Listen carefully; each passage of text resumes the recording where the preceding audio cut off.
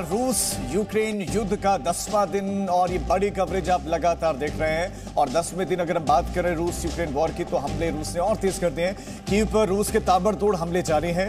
ये हमले हो रहे हैं। खारकिव से तबाही की तस्वीरें आई थी। ऐसा मंजर सामने आया कि रूह काम जाए। एक हफ़्ते में रूस ने अब तक 500 से ज़्यादा मिसाइलें दाग दी हैं। और इस सिलसिला थमा नहीं है। सिलसिला जारी है। एक हफ़्ते में 500 से ज़्यादा मिसाइलें दागी गई। वहीं तीन मार्च तक 12 लाख से ज़्यादा लोगों ने यूक्रेन छोड़ दिया है और ये सिलसिला भी थमा नहीं। तो ना मिसाइलों की रफ्तार, ना उनकी संख्या कम हो रही है, ना ही पलायन करने वाले लोगों की संख्या कम हो रही है। दसवां दिन है और दसवें दिन हालात ये हैं कि मुश्किल भरे हालात।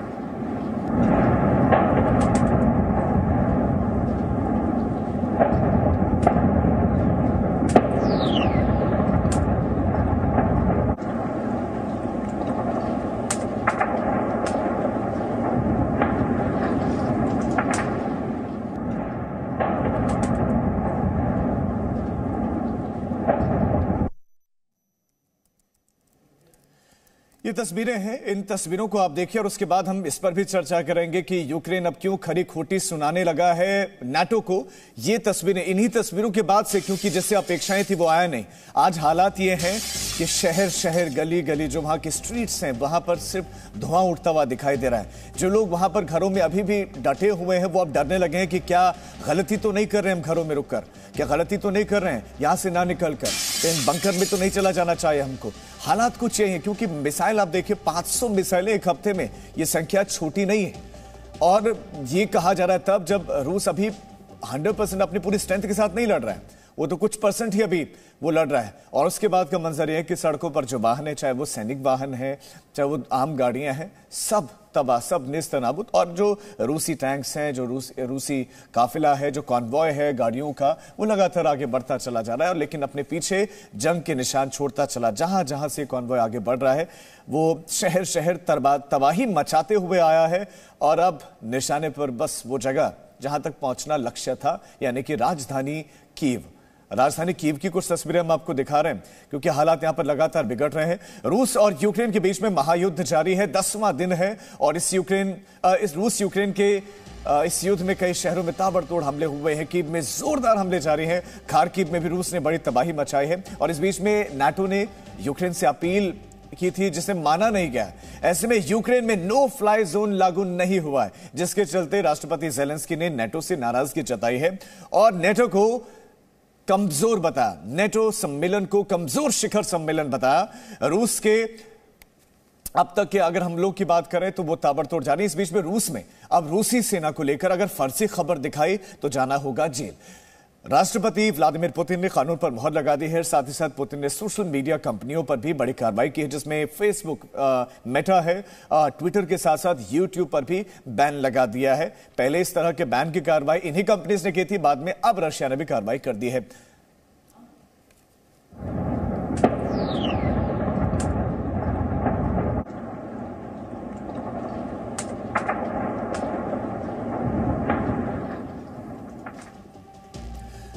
अब आप उन जगहों को देखिए, उन देशों को देखिए जिन्होंने अब तक कार्रवाई की है। रशिया पर प्रतिबंध लगाया है एयर स्पेस बैन किया है तो इसमें यूरोपियन यूनियन की जो कंट्रीज़ आपको दिखाई देंगी, Germany, Austria, Slovenia, Italy, Greece, Bulgaria Romania है, Ireland, Britain, France, Norway, Sweden, Finland, Poland कुवेशिया तो ये वो कंट्रीज़ हैं। इसके साथ साथ इसमें कनाडा भी है अमेरिका भी है, जिन्होंने एयर स्पेस पर बैन लगा दिया है। यहाँ से किसी तरह की कोई गतिविधि हवाई गतिविधि तो कम से कम रशिया नहीं कर पाएगा। इन कंट्रीज़ ने बैन लगा दिया है। तो जवाबी कार्रवाई रशिया की तरफ़ से भी की गई है। रशिया ने भी अपने एयर स्पेस के लिए, इन कंट्रीज़ के लिए बैन किया है। लेकिन अभी जो तस्वीरें आप देख रहे हैं, इन तस्वीरों के बाद जो यूक्रेन में नहीं भी है, वो ये समझ पा रहा है कि वहाँ के लोगों की चिंताएँ कैसी, वहाँ के लोग किस दर्द से इस वक्त गुजर रहे हैं। और अब वक्त है आपको अब तक का वॉर अपडेट देने का। सुबह दस बजकर चार मिनट के बाद अब तक यानी कि सारा का सारा अपडेट हम आपको दे रहे हैं। यूक्रेन को नो फ्लाई जोन बनाने से इनकार कर दिया है नेटो ने। यह यूक्रेन की गुजारिश थी, अपील थी कि नो फ्लाई जोन घोषित कर दीजिए। लेकिन नेटो ने कहा कि हम इस युद्ध का हिस्सा नहीं है। हम कैसे कर दें? हम इस वॉर का पार्ट नहीं है हम इसका हिस्सा नहीं है। नो फ्लाई जोन के फैसले पर यूएस नेटो एक साथ यानी कि जैसे नेटो ने इनकार किया यूएस का यूएस की प्रतिक्रिया कि हम साथ हैं नेटो कमज़ोर है कुछ नहीं कर सकते। यूक्रेन की उसके बाद प्रतिक्रिया भी आ गई है कि नेटो एक कमज़ोर है। जैसा सोचा था नेटो के बारे में वो वैसा नहीं है। इस बीच में यूएनएचआरसी ने वहाँ पर चर्चा हुई रूस यूक्रेन युद्ध पर वहाँ वोटिंग हुई। आ, उस वोटिंग में हालाँकि भारत ने हिस्सा नहीं लिया। भारत ने यूएनएचआरसी वोटिंग में पार्टिसिपेट नहीं किया, हिस्सा ही नहीं लिया। ये वॉर अपडेट अब तक निर्णायक कार्रवाई की ज़रूरत है जेलेंस्की ने कहा। फिर उन्होंने विश्व भर के लीडर से, नेताओं से ये गुजारिश की कि अभी वक्त है ये एक परमाणु युद्ध की तरफ़ बढ़ रहा है, इसमें निर्णायक कार्रवाई की ज़रूरत है। रूस ने कुछ एक्शन लिए हैं, कुछ कार्रवाइयाँ की हैं, वो ये है।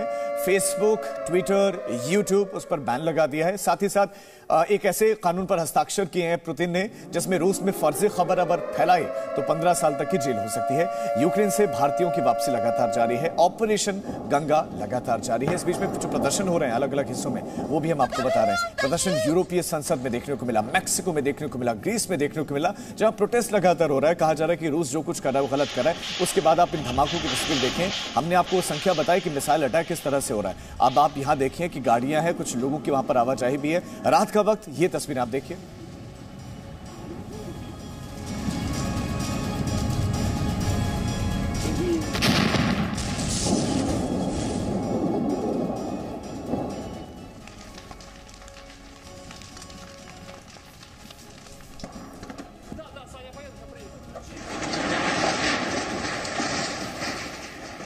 तस्वीरों से अब अंदाज़ा लगाना मुश्किल नहीं कि वहाँ पर हालात क्या हैं लेकिन अब यहाँ पर बहुत इंपॉर्टेंट हो चला है कि नेटो से अपेक्षाएँ थी लेकिन नेटो ने हाथ पीछे खींच लिए। और इसी पर चर्चा के लिए खास मेहमान हमारे साथ जुड़ गए हमारे साथ सुरेश गोयल जी हैं पूर्व राजनयिक हैं। सर बहुत स्वागत है आपका। और हमारे साथ retired lieutenant general Arun Sahni ji भी हैं। सर आपका बहुत बहुत स्वागत है। सुरेश जी सबसे पहले आप ही से कि यूक्रेन ने गुजारिश की नेटो से कि नो फ्लाई जोन घोषित कर दीजिए लेकिन नेटो ने इनकार कर दिया। आपके हिसाब से किन परिस्थितियों में और क्यों नेटो ने इनकार किया होगा ये?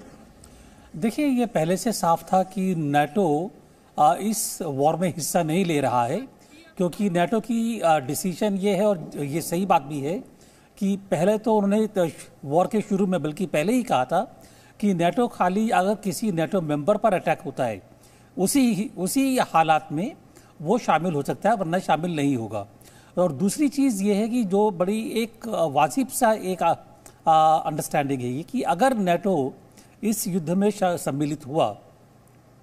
तो इसके तीसरे विश्व युद्ध के में बदलने के पूरे पूरे चांसेस हैं और नेटो नहीं चाहता है कि ये जो यूक्रेन की लड़ाई है तीसरे विश्व युद्ध में बदलेगी तो इसकी पूरी उम्मीद थी कि वहाँ पर नेटो ये नहीं करेगा। उन्होंने एक्सप्लेन किया भी है ये कि अगर उन्होंने वहाँ पर ये नो फ्लाई जोन किया तो उनको अपने प्लेन्स उसके स्पेस में करने पड़ेंगे रशिया की फ्लाइट्स को रोकने के लिए।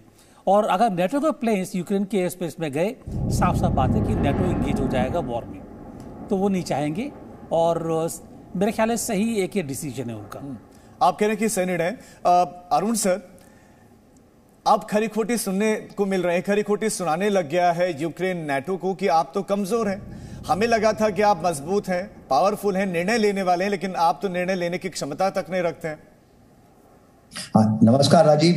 आपसे जुड़ने के लिए थैंक यू वेरी मच सबसे पहले तो मैं यही कहूँगा कि जो कहते हैं ना, वो कहावत है कि यूक्रेन को पहले तो यूएस और वेस्टर्न नेशन ने चने के झाड़ पे चढ़ा दिया और उसके बाद अब झाड़ को काटना शुरू कर दिया है। तो जेलेंस्की को अकेला छोड़ दिया है। जो एंटी पुटिन लॉबी थी, या जेलेंस्की ने सोचा कि जो पूरे वेस्टर्न नेशंस मेरी मदद में आएँगे, वो नहीं हुआ। जिस प्रकार अम्बेसडर साहब ने कहा आई थिंक या जो जो हमारे साथ दूसरे श्रोता हैं जिन्होंने आज नेट पे जुड़े हुए हैं, उन्होंने आप करेक्टली बताया है कि नेटो ने किसी भी तरह से लड़ाई में लेने, ये हिस्सा लेने के लिए इनकार कर दिया है। चाहे वो फ़िज़िकल काइनेटिक स्ट्रेंथ में हो कि फ़िज़िकल ट्रुप्स के साथ, और अगर वो नो फ्लाई जोन करेंगे तो वो एक तरह से युद्ध के अंदर शामिल हो चुके हैं। और जिस प्रकार से कल से काफ़ी न्यूज़ चैनल्स बोल रही हैं कि यहाँ पर तीसरे महायुद्ध की संकेतना है तो अगर एडिशनल नेशन ज्वाइन करेंगे तो तभी ये थर्ड वर्ल्ड वॉर की स्थिति के ऊपर बढ़ सकता है। तो आई थिंक डिसीज़न उनका करेक्ट था बट सिर्फ़ यही है कि जेलेंस्की अब अकेले पड़ गए हैं। हथियार देने से तो फ़र्क नहीं पड़ता बिकॉज़ आप जैसे जानते हैं कि पुतिन की रणनीति यही है कि sea of Azov Black Sea दोनों से इनको सेग्रीगेट किया जाए या काट दिया जाए यूक्रेनियन मेनलैंड को ताकि उधर उनकी कोई भी सपोर्ट की कोई क्षमता ना रहे हम्म। दूसरी तरफ़ वो बेलारूस और वेस्टर्न अपने रशिया से वो कीव की तरफ़ अपना हमला जारी कर रहे हैं ताकि जो ईस्टर्न यूक्रेन है और कीव का जो सिटी है वो उनके कब्जे में आए और यही उसकी जो रणनीति है आज मेरे ख्याल दसवां दिन है वो उसी रणनीति के ऊपर कार्रवाई कर रहे हैं आप बता रहे हैं कि अपने नफा नुकसान को समझते हुए और मौजूदा परिस्थितियों को समझते हुए उसका निर्णय सही है। लेकिन सुरेश सर यूक्रेन तो खुद को ठगा हुआ महसूस कर रहा है तो क्या उसको अपने आप को ठगा हुआ महसूस नहीं करना चाहिए? क्योंकि इसी से तो अपेक्षाएँ थी उसको। ये अगर ठगा हुआ महसूस कर रहा है देखिए मैं जो कहूँगा हो सकता है बात पसंद नहीं आए अगर यूक्रेन के लोग हैं उनको बात पसंद नहीं आए लेकिन नेटो शुरू से बोल रहा है कि हम आपकी लड़ाई में हिस्सा नहीं बनेंगे। हमारे जो है सैनिक वहाँ पर नहीं आएँगे और नेटो आपकी लड़ाई का हिस्सा नहीं बनना चाहते बनेगा। ये पहले पहले वो साफ़ ज़ाहिर कर चुके हैं ये। अगर उसके बावजूद जेलेंस्की प्रेसिडेंट ने रशिया से वॉर करने का फैसला लिया तो इसके बारे में क्या कहेंगे हम? आ, अगर मैं पॉलिटिकली इनकरेक्ट नहीं होता मैं इसको बेवकूफ़ी बोलता। लेकिन मैं कहूँ चलिए बेवकूफ़ी नहीं गलती है ये कि उनको पहले पूरी एक सामरिक स्थिति समझने के बाद में ये निर्णय लेना चाहिए था कि वो रशिया से युद्ध ले या नहीं ले। और भी तरीके थे। यूक्रेन को पहले कहा गया था कि आप आपको नेटो का हिस्सा नहीं बनना है। हम्म। यूक्रेन ने मना नहीं किया। लड़े लगे रहे। और अब अल्टीमेटली जब समझौता होगा तब भी यही होगा कि यूक्रेन नेटो का मेंबर नहीं बन पाएगा। हम्म। तो अल्टीमेटली झगड़ा हुआ युद्ध हुआ किसी को कोई फ़ायदा नहीं हुआ। लेकिन सर क्या वक्त आ गया कि जेलेंस्की को समझना चाहिए कि आपके साथ कोई नहीं है? आपके पास एकमात्र विकल्प है रशिया से बात करना? आ, मेरे ख्याल है जेलेंस्की को ये बात काफ़ी पहले समझ में आ गई थी कि उनको रशिया से बात करनी पड़ेगी। अगर उनको ये बात समझ में नहीं आती तो जो दो राउंड हुए हैं बेलारूस में बातचीत के वो नहीं होते। दिक्कत ये है कि दो राउंड बातचीत के हो चुके हैं। अब भी ये जानते हुए भी कि माफ़ी माफ़ी के साथ आपको रोक रहा हूँ सर आप कंटिन्यू कीजिए कहीं हिस्से लेकिन इस बीच में एक बड़ी खबर है बड़ी खबर यह कि यूक्रेन के राष्ट्रपति का बड़ा बयान।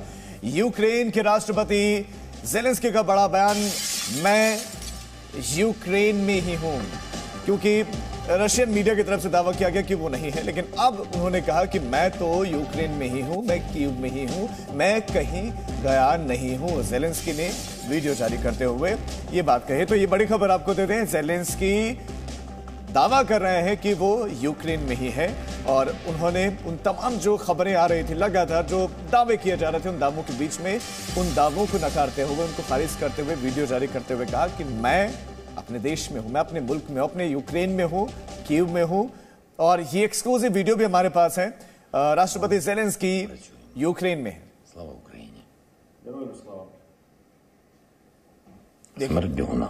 Добрий вечір. Кожні два дні з'являється інформація, що я кудись втік з України, з Києва, з офісу. Ось бачите, я знаходжусь тут на місці. Андрій Борисович тут.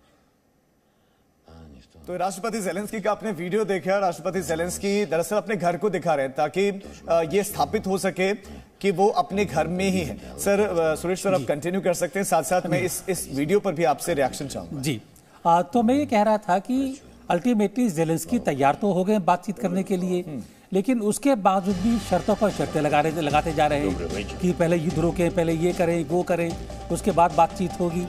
जबकि इन बातचीत में अभी शर्त कम से कम यूक्रेन के पास शर्तें रखने का कोई रास्ता नहीं है कोई क्षमता नहीं है उनकी। तो बातचीत तो कर, करेंगे लेकिन थोड़ा सा उनको अभी समझना पड़ेगा कि आ, जो वो सोच रहे थे कि नेटो साथ देगा या और कोई साथ देगा वैसा नहीं है। और मेरे को लगता यही है कि अभी दो तीन दिन या जब तक चल रही है चलेगी अल्टीमेटली बातचीत करेंगे और समझौता होना ही कर, करना ही पड़ेगा। हम्म। जो ये दिखा रहे हैं पिक्चर ये कि अपने घर में है ये। देखिए तस्वीरें दिखाते रहे हैं कब की तस्वीरें हैं क्या कह रहे हैं। आजकल बहुत सारी चीज़ें होती हैं कि बैकग्राउंड में चल रहा है आपके ये स्पेशल इफ़ेक्ट चल रहे हैं ग्राफिक चल रहे हैं। आप ग्राफिक कोई बना लीजिए बाद में कहीं से कर लीजिए। इन चीज़ों का मैं अब भरोसा नहीं करता हूँ। हो सकता है हो हो सकता है नहीं हो।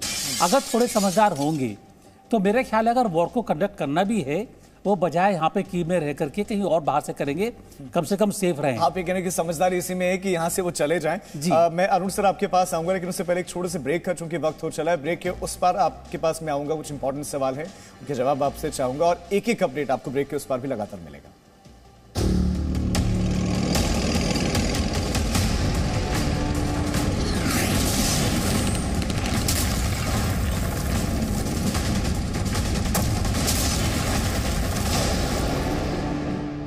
Presenting the News app available on Google Play and App Store. Download it now.